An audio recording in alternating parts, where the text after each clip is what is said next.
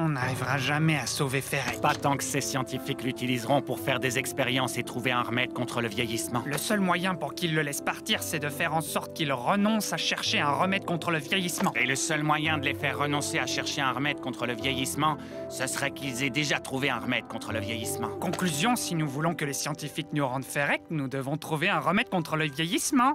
Ce sera pas simple. Il nous faut des plumes ayant appartenu à Ferrec. Maintenant que nous avons ces plumes, il ne nous reste plus qu'à trouver le remède contre le vieillissement. Euh,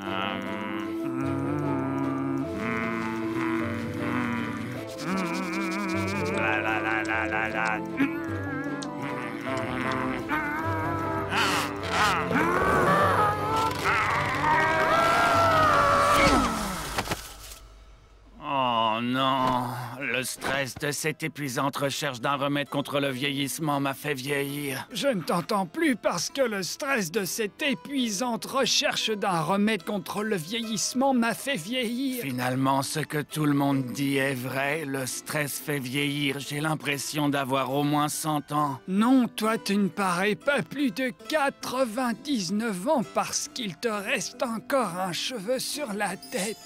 Pourquoi, au milieu de ce désert de mort et de désolation, ce cheveu courageux s'obstine-t-il à tenir bon, tel une oasis de jeunesse et de vigueur sur une peau parcheminée de rides?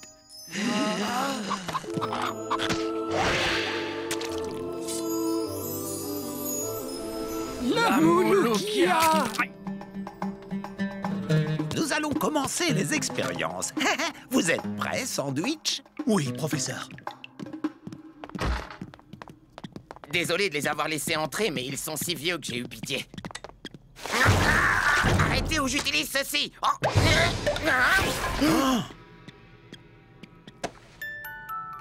Le remède contre le vieillissement Si vous nous rendez Ferrec, le remède est pour vous. Oui, j'accepte par ici, par ici.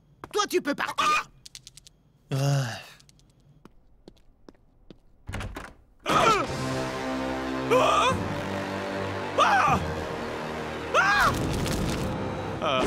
Même comme ça, c'est encore mieux qu'à l'hôtel avec les jeunes mariés qui m'ont fait dormir sur le parking.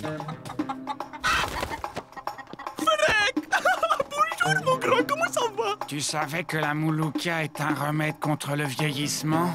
Mais bien sûr, je l'ai mise au point pour garder à tout jamais le petit Ferrec. Nous terminons notre journal avec une super nouvelle. Le remède contre le vieillissement n'est pas un vrai remède contre le vieillissement.